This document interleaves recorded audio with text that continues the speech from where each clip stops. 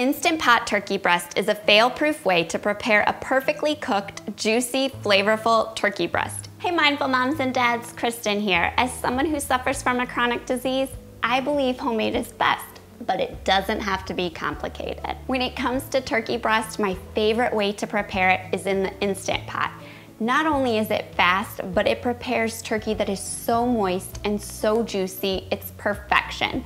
Perfect for a small holiday or just to make for turkey sandwiches throughout the week. So let's put on our kitchen capes and make a delicious turkey breast. Now, before you get started making your turkey, make sure it fits. For my six quart Instant Pot, I can fit between a six and seven pound turkey breast, and for an eight quart, I can fit between an eight and sometimes up to a 10 pound turkey breast. I suggest that you place your turkey breast inside the Instant Pot still in its packaging on top of a rack and make sure that the lid fits on the Instant Pot. If you need to, you can get rid of the rack, but I prefer to cook using the rack if your turkey breast will fit. Now that we know our turkey fits, let's make our seasoning rub. Mix together four tablespoons of softened butter with a half a tablespoon each of chopped fresh rosemary and thyme leaves, along with one teaspoon each of salt and pepper. Gently loosen the skin of the turkey breast and rub that mixture under the skin. This is gonna melt into the turkey and give it incredible flavor as it cooks. And we're gonna head over to the sink and wash our hands really well. Pour in two cups of chicken stock into the inner pot. If you aren't planning on making gravy, you can use water. And then pop your seasoned turkey breast right on top of the rack. To the cavity, you can add in some celery, some onions, some herbs, whatever you have. Today I just have celery stalks. And then head back over to the sink and wash your hands again before you touch the lid of the Instant Pot. Now we can pop our lid on our Instant Pot. And to set cook time, you wanna cook turkey breast for six minutes per pound.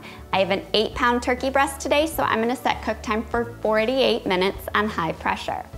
Once the cook time has elapsed, you've heard me say it before, but let pressure release naturally for 10 minutes anytime you're cooking meat. That will give your meat time to rest and it won't seize up if you do a quick release of pressure. Remove the lid from the inner pot and carefully remove the turkey using the handles of the trivet to a sheet pan. Drizzle with olive oil and turn the oven to broil to heat. Strain the cooking liquid over a fine mesh strainer and return the inner pot to the pressure cooker and turn to saute. Add in two tablespoons of butter and let that melt and whisk in two tablespoons of flour. Feel free to double that if you want a lot of gravy to serve with your turkey. Let that cook for one to two minutes so that your gravy doesn't taste like raw flour. After about a minute, add in a fourth of a cup of dry white wine. Now the wine is really gonna add a lot of depth of flavor to your gravy, but if you don't have it on hand or you don't drink alcohol, just use some of the drippings that we have. Slowly whisk in the reserved cooking liquid a half a cup at a time using two to three cups total. Let that cook while we pop our turkey breast under the broiler to crisp up the skin. Season the gravy with a half a teaspoon each of salt, pepper, and one teaspoon of Worcestershire sauce. Grab the turkey breast from the oven and set aside to rest while the gravy thickens. Pour the thickened gravy into a gravy boat, cut the turkey breast, and serve up the turkey with a generous serving of gravy. Trust me when I say this turkey breast is absolutely delicious. It's perfect for a holiday, perfect for sandwiches, and if you wanna see how I use this recipe to prep an entire Thanksgiving meal in just two hours, be sure to catch my next video. I'll see you there.